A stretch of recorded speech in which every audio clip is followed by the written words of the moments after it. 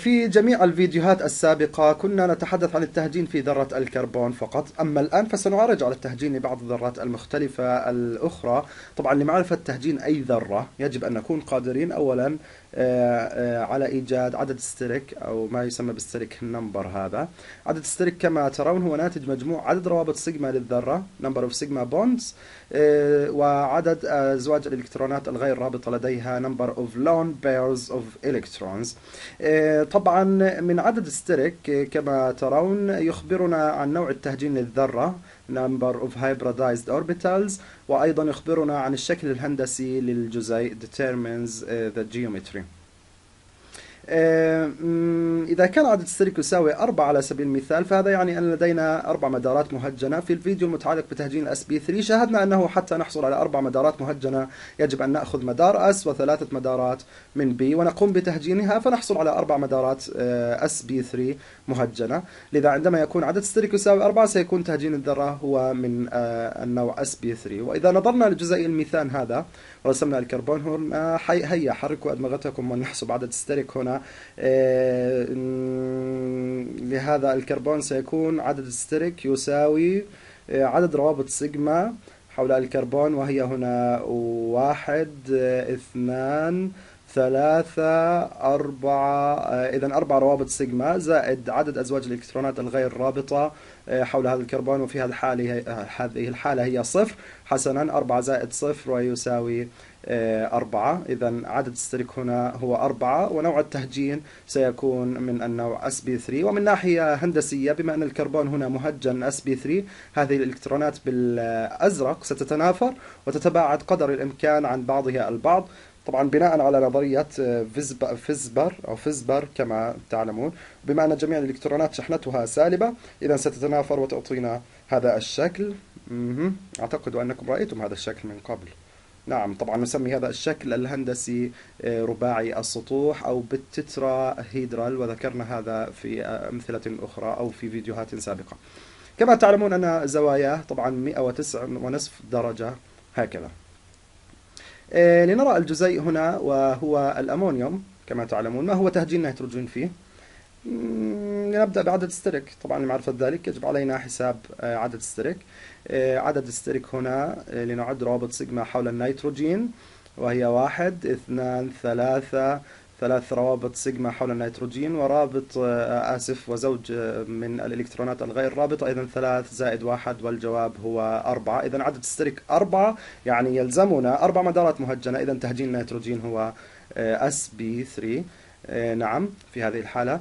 وعند رسم جزيء الأمونيوم بشكله الهندسي لدينا النيتروجين هنا ولدينا ذرات الهيدروجين تنزل منه للأسفل وأيضا لدينا زوج الإلكترونات الغير رابطة في الأعلى آه، هنا. نعم. إذا لدينا هذا الشكل الهندسي وهو يشبه كثيرا آه، شكل جزيء الميثان إلى أنه بدلا من الرابطة الرابعة فيه يوجد زوج من الإلكترونات الغير آه، رابطة. طبعا وبسبب الإلكترونات الغير رابطة هذه سيكون التنافر أكثر قليلا مما هو في جزيء الميثان لذا ستضغط على الروابط. وهذا سيؤثر على مقدار زاوية الرابطة لذلك لن تكون 109.5 درجة ستكون أقل من ذلك وستكون 100 وسبع درجات تقريبا. ولتحديد الشكل الهندسي لهذا الجزيء آه، مثل ما علمنا آه، نتجاهل زوج الإلكترونات الغير رابطة. وإذا قمنا بهذا آه، سنرى شكل كالهرم وهذا يسمى هرمي ثلاثي القاعدة أو بما يعرف بالترايجونال بيراميدال إذا يبدو كالهرم. هذا إذا تجاهلنا زوج الإلكترونات. ما رأيكم بمثال آخر لننظر إلى جزيء الماء آه الآن ونرى التهجين في ذرة آه الأكسجين؟ آه طبعا آه سنحسب أولا عدد steric. عدد steric هنا عدد روابط سيجما لدينا رابطتين في هذا المثال اثنان. وزوجين من الإلكترونات الغير رابطة إذا اثنان زائد اثنان يساوي أربعة. نعم وهذا يعني أن تهجين الأكسجين هو من نوع ال sp3 الآن زوجي الإلكترونات الغير رابطة كل منها يحتل مدار sp3 كاملا كما نرى من شكل جزيء الماء هنا. وبما أنه لدينا هنا زوجين إذا سيكون مقدار التنافر هنا أكثر مما رأيناه في المثال السابق. عندما تحدثنا عن جزيء الأمونيوم الذي كان لديه زوج الإلكترونات أو زوج من الإلكترونات الغير رابطة واحد فقط هنا زوجين من الإلكترونات الغير رابطة. إذا الزاوية هنا لن تكون 109.5 درجة أو 107 بل أقل من ذلك ستكون 105 درجة. لنتحدث عن الشكل الهندسي لأي جزيء أو أيون. أزواج الإلكترونات الغير رابطة يجب أن نتجاهلها. لنرسم جزيء الماء ونركز على الرابط فقط. طبعا آه، أقرب ما يمكن وصف شكل جزيء الماء بهذا الشكل وهو الشكل المنحني أو ما يسمى ببنت. إذا الشكل الهندسي للماء هو منحني. لنأخذ مثالا الآن بحيث يكون فيه عدد السلك يساوي ثلاث. نعم. إذا كان عدد السلك يساوي ثلاث هذا يعني أنه لدينا ثلاث مدارات مهجنة فقط. وفي الفيديو آه، عن التهجين الاس بي 2 شاهدنا كيفية عمل ثلاث مدارات مهجنة. نأخذ مدار s ومدارين من p حيث يتم تهجينها لنحصل على ثلاث مدارات فقط من ال sp2 إذا لننظر إلى جزيء الإيثيلين هنا أو الإيثين شاهدنا هذا الجزيء في الفيديو عن تهجين sp2 دعونا نحسب الآن عدد ال steric للكربون على اليمين. طبعا عدد ال steric يساوي عدد روابط سيجما زائد عدد أزواج الإلكترونات الغير رابطة كما آه، قلنا. ونرى هنا رابطة سيجما اثنتان. ورابطتين هنا. من هذه الرابطتين يوجد فقط رابطة سيجما واحدة. إذا ثلاث روابط سيجما حول الكربون. ولا يوجد أي من الأزواج الإلكترونات الغير رابطة حوله. إذا ثلاثة زائد صفر يساوي ثلاثة وهذا يعني أن التهجين على ذرة الكربون هذه هو من نوع ال SB2 وإذا أردنا رسم صورة لجزيء أو الشكل الهندسي لجزيء الإيثين تهجينه هو SB2 كما ذكرنا. نعم. إذا لنرسم روابط سيجما. المشكلة من هذه المدارات SB2 نعم بهذا الشكل والتي ناقشناها في الفيديوهات السابقة. بما أن التهجين هنا SB2 إذا هناك مدار B غير مهجن يمكن أن نرسمه بهذا الشكل على كل ذرة من ذرات الكربون. طبعا التداخل جنبا إلى جنب يشكل رابطة باي أحسنتم. التي نراها هنا من الصيغة البنائية على اليسار. وعند التفكير في الشكل الهندسي لذرات الكربون هذه المهجنة من النوع التهجين sp2 لنأخذ ذرة على اليمين مثلا. هذه الزوايا بين الروابط يجب أن تكون 120 درجة لأنها ثلاث زوايا. إذا اقسم 360 على ثلاث الجواب 120 وهذا يعني آه، أو لتوضيح سأرسم هذا المستوى هنا. طبعا وسيكون كلا مداري p متداخل ويسمى هذا الشكل الهندسي.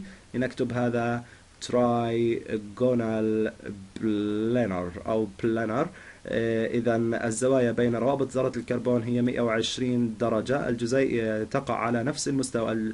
إذا الذرات جميعها تقع على نفس المستوى ولكن المدارات آه، في الأعلى. هذا الجزيء تعلمون أن كل زاوية تشكل ذرة كربون.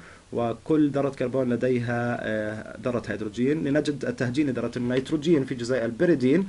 إذا سنحسب عدد ال steric لهذا النيتروجين. نحسب عدد روابط سيجما. هنا رابطة سيجما واحدة وهنا أيضا واحدة أخرى. إذا آه، اثنتان فقط والأخرى ستكون رابطة باي كما تعلمون. إذا اثنان ولدينا زوج واحد من الإلكترونات الغير رابطة. إذا اثنان زائد واحد يساوي ثلاث. إذا عدد السلك يساوي ثلاث وهذا يدل على أن تهجين النيتروجين هو من النوع SB2 نعم لأرسم هذا هنا. تهجين النيتروجين هو SB2 كما ذكرنا. إذا الروابط الأحادية تشكلت من المدارات المهجنة sp2 للنيتروجين وهناك مدار آخر مهجن sp2 من النيتروجين ويحتوي على زوج واحد فقط من الإلكترونات الغير آه، رابطة. هذا الزوج آه، آه، يحتل المدار sp2 كاملا. طبعا بما أن تهجين النيتروجين هو sp2 فهذا يعني أن هناك أيضا مدار فارغ أو آسف غير مهجن من النوع P. وإذا أردت حساب عدد ال steric لهذا الكربون يعني لما سيكون ثلاث كما في المثال السابق الكربون هنا هذا أيضا هو مهجن sp2 إذا دعونا نرسم الكربون هنا. وبما أن تهجينه sp2 هذا يعني أن لديه مدار P وهكذا آه، نحصل على رابطة باي بين النيتروجين وهذا الكربون. آه، نعم. إذا الإلكترونات في الأرجواني لا يشغلان s مدار sp2 إنما يشغلان المدارات بي الغير مهجنة المتداخلة. ونأخذ المثال الأخير وليكن الإيثيلين. دعوني فقط أتحدث عن الشكل الهندسي للنيتروجين في المثال السابق قبل ذلك. طبعا إذا تجاهلنا عدد أزواج الإلكترونات الغير رابطة أو زوج الإلكترونات هو هنا فقط زوج واحد. إذا سيبدو هكذا وهذا يبدو منحني. إذا يمكن القول أن هذا الشكل الهندسي هو منحني بنت كما ذكرنا. طبعا كما تعلمنا من الأمثلة السابقة فعند رسم الشكل الهندسي ما يهمنا هو نوع التهجين وأن نلغي أزواج الإلكترونات الغير رابطة أثناء عملية الرسم للشكل الهندسي لأي جزيء أو أي أيون نتحدث آه، عنه. الآن آه، لنعود إلى المثال الأخير. عدد ستريك يساوي آه، اثنان. هذا يعني هناك مدارين مهجنين فقط. يمكن عمل مدارين مهجنين مدار واحد من S ومدار واحد P. لذا عندما يكون عدد steric اثنان نتحدث عن ذرة مهجنة من النوع SP طبعا للتوضيح آه، سأضع ذرات الكربون هنا. وإذا كان وإذا كنا نريد حساب عدد steric لهذه الذرة على اليمين عدد steric يساوي عدد روابط سيجما واحد. اثنان فقط. من هذه الثلاث فقط رابطة سيجما واحدة.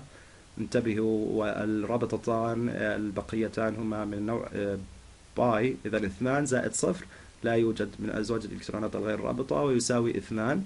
هذا يعني هناك مدارين مهجنين. إذا طبعا من مهجنين من النوع S P. وهذا أيضا نوع التهجين لهذا الكربون هو sp كذلك. وبالنسبة لزاوية الرابطة هذا آه، يعطينا خط مستقيم وهذا يعني أن الزاوية هذه 180 درجة فقط والشكل الهندسي يسمى شكل هندسي خطي أو ما يسمى بال linear. طبعا وللتنويه فهذا الجزيء يسمى الإيثاين وليس الإيثين كما ذكرت في بداية التحدث عنه.